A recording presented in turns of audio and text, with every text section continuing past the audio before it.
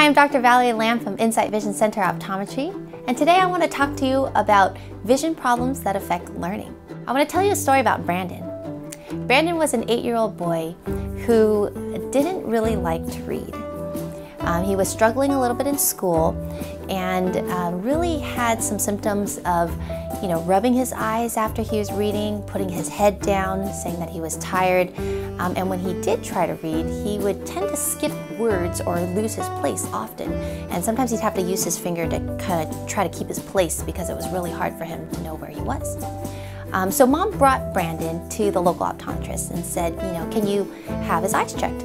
Um, and he read 20/20 on the eye chart, and optometrist said he doesn't need any glasses, his vision seems fine. But mom knew.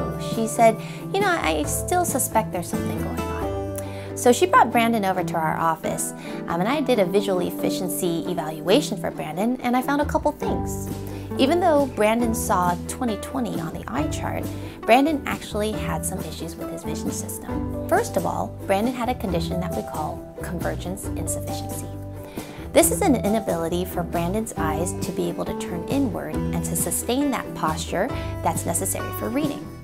This was causing him to have a little bit of double vision or blurry vision intermittently when he was trying to focus. Secondly, we found that Brandon had a tracking problem. So when Brandon's eyes were trying to move across the page from left to right as he was reading his text, I noticed his eyes were bouncing all over the place. Sometimes they would jump a couple words, sometimes they would jump backwards, or even jump two lines down. And that was causing Brandon difficulty to be able to pay attention to what he was reading.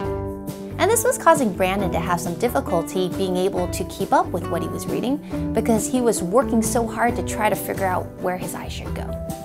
So we enrolled Brandon in our vision therapy program and we worked on a lot of exercises with him. We worked on his tracking skills, getting his eyes to look in the right spot at the right time, and also having him track letters and working on timing and speed with it. Second thing we worked on was his muscle system.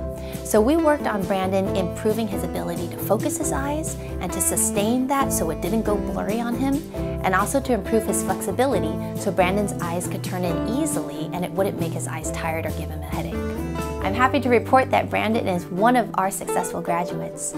A year after vision therapy, Brandon is now reading at grade level He's doing much better in school. He doesn't rub his eyes anymore.